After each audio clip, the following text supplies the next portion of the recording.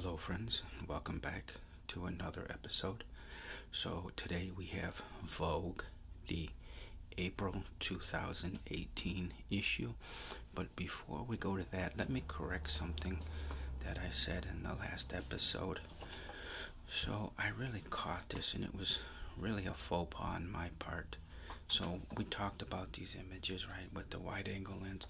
This was the thinning effect on the hips and I came to this one and I said, her hips are blown out because the camera is too close and the axis of the lens is here. And I was wrong. You can see that the axis of the lens is really up toward her face. So let me explain. And again, because I've been out of the game a couple years, it was just a lapse in judgment on, on my part. But what happens is with a wide angle lens, let's just say, for example, this is the curvature of the lens, okay? And it's not the exact curvature. This is just for illustration purposes only. So the part on a wide angle that's not going to get discord, dis, distorted too much is here in the center part of the lens. But as things start coming into the, you know, this radius down here and up at the top, well, it's actually spherical, right? It's 360 degrees things on this part of the lens start getting distorted. So here, if you can imagine this is the lens and it's pointed at Cate Blanchett, it really is eye level, right? And it's not being distorted. But her hips, her hips were caught with this part of the frame where the curvature starts becoming extreme.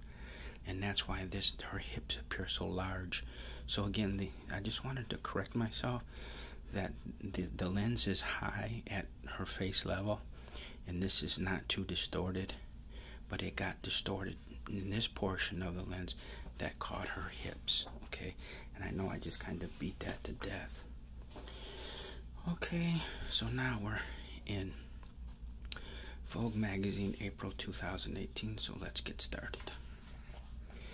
Okay here we have Ralph Lauren and if you ever watch the opening ceremonies of some of the Olympic Games, Ralph Lauren has been chosen, I don't know how many times over the years, but if you know, a couple, two or three times at least. And his designs are by far, I, have always thought he had the best designs of, of any country. He dresses the Americans, and this is right, it's not explicit here that this is a an Olympic uniform, but it certainly looks as if it would be uh, an Olympic uniform, right? It's just all the white. This is traditionally his motif for the Olympics is a red, white, and blue, and it's generally pretty conservative in nature, and it's just wonderful. Ralph Lauren is among the best designers. Okay, Saint Laurent, we're back with another rooftop. As I've said in previous episodes, Saint Laurent is known. If there's a niche for Saint Laurent, it's this rooftop photography, and it works. Look at that. It's a wonderful image. Okay, this was interesting for Miu Miu because this is like a travel trailer, and you can see it's a radius, right? So it's kind of neat here that the uh, Photoshop technician has removed the photographer from the image because the way this is radiused, for sure, the photographer would have been in the image, and the technician has used content aware, right, uh, healing, and removed the photographer from the trailer. It's interesting. It's good. It's good post processing work. Here, this is this is really a wonderful image. Again, I think that's uh, Natalie Portman. I'm pretty sure it is. From if you want to see, I'm into psychological thrillers, right? I love psychological thrillers. And if you if you haven't seen The Black Swan, I highly recommend it. It's an awesome movie, truly awesome movie. But I'm just getting back to Natalie Portman here. She looks wonderful. And this could have been, now this is just regular standard paper, right? And if they would have taken this Miss Dior and moved it down very low so that the image would have been kind of left alone, or at least, you know, as a standalone.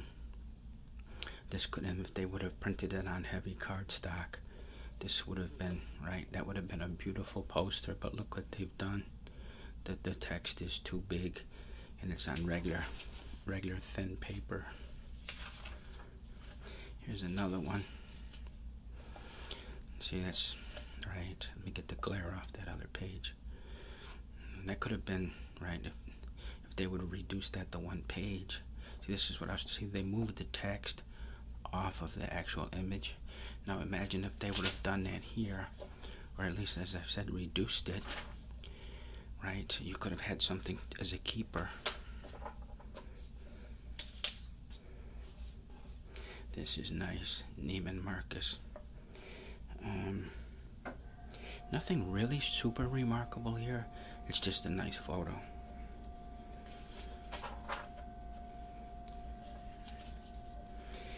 Here I chose this image because normally when these when they do shoots like this photographers they have a crew and they're generally like there are four people holding a giant scrim out of frame.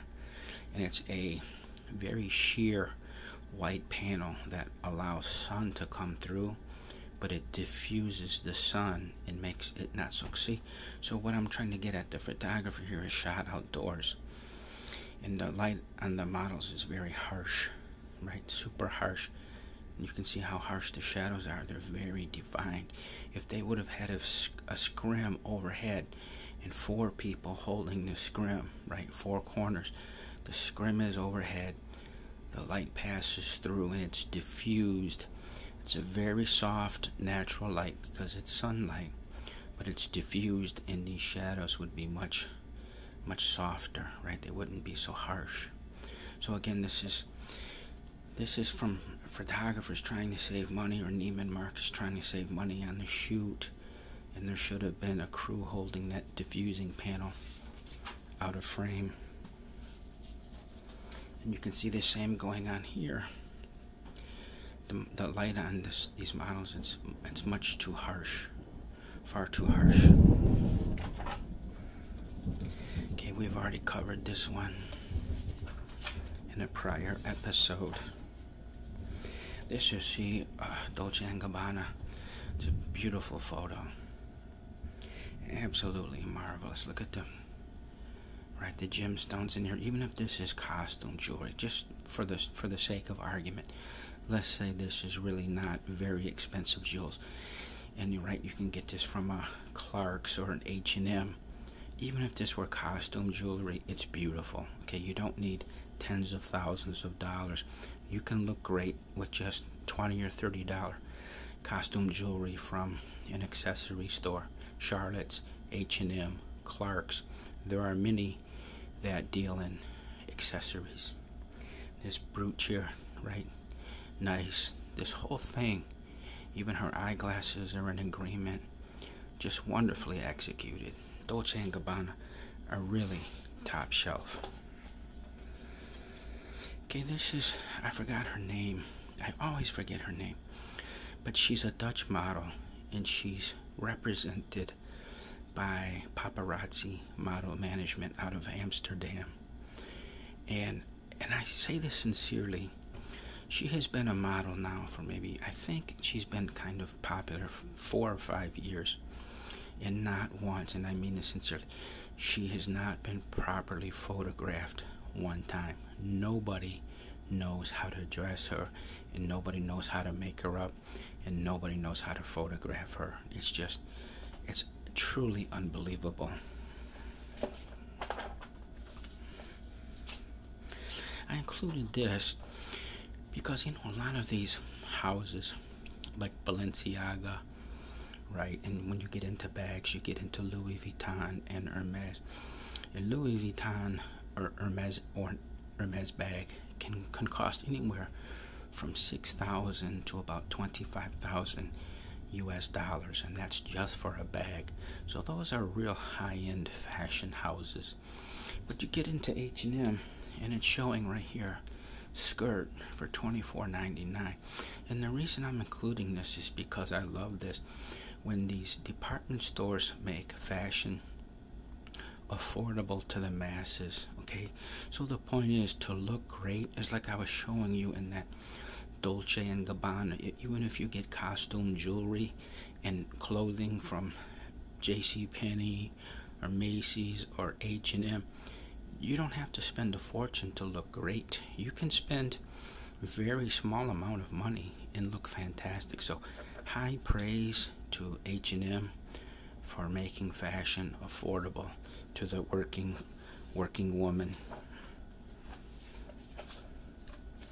Okay, so this is this is the image I had in mind when I was showing you in the last episode.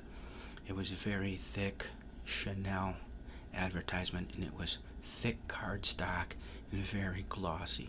Now this is regular paper. Okay, this is just standard paper, very little gloss. But look at that image. Now can you imagine Pantene printing this on that heavy, heavy glossy cardstock and removing this text, bring this text down here with the Pantene. And this on this page would be nothing but the image. Look how gorgeous that is. That would be an, on heavy cardstock glossy. You cut it you put it in a picture frame and that's worthy of hanging on your wall for years. That is really a museum quality photo. And again it's ruined with text and it's not on glossy cardstock stock. And it's again another opportunity lost. This is cool. The reason I included this this is an anniversary. Nikon was cele celebrating an anniversary of a famous shoot with Marilyn. And I'm just including it here because back in 2013 Nikon released digital version of a camera something like this. It was an F mount right? And I had I have both. It's an FE and an FM they're film cameras. But this is a little earlier than than those. But the, the point is when Nikon released the DF as in David Frank Nikon DF it was a I think a 16 megapixel full frame again from 2013 and it's an awesome camera it was released in the same time frame as the flagship D4 but the D4 is weather sealed and it has the big buffer for like sports photography or wildlife photography if you want to catch like a bird in flight. So this has the same sensor, but it didn't have the big buffer and it didn't have the weather sealing of the flagship D4. So my point is, and I'm not, I'm not being paid. This is not a paid promotion because the camera is from 2013. So I'm certainly not trying to promote something that's nine years old. But if you want a heck of a good camera, uh, and I mean awesome image quality, you should look at the DF. It's this hipster throwback look, but current digital technology. Okay, this is beautiful here, and the reason I wanted to show this is these are opposing images with the type of lens used because this is a wide angle. Look how small her head is here compared to the rest of her body. So when you see that, when you see a body being elongated, you know that's a wide angle. Okay, that's probably toward the 24. If it's if this were the flagship, kind of 24 through 70, which is kind of like the go-to fashion lens for like FX, Nikon FX full frame or Canon full frame. The two flagship lenses from either company is the 24 through 70. That's what most fashion photographers use. So this would be twisted, the barrel's being twisted to the 24 side of the lens. And over here, this is telephoto. You can tell the compression. And I don't mean because she's small. I mean, if you can tell her body, you can tell the body's being somewhat compressed, right? Except for this arm. This arm looks a little, but to me that looks like it was a telephoto lens. And this is wide angle. So you got you got some juxtaposition here. Okay. That's it. So that was a pretty brief uh, episode today. So this was Vogue April 2018 and if I can ask you respectfully if you enjoy these videos can you please give me a thumbs up because uh, it, it affects YouTube's algorithm right there the kind of like the I don't want to really say AI, but there's an of course, there's an algorithm running behind the scenes, and YouTube will promote videos. Right, the higher the like, the higher the thumbs up, the more it gets promoted. So, right, you, my, I get more visibility on these videos.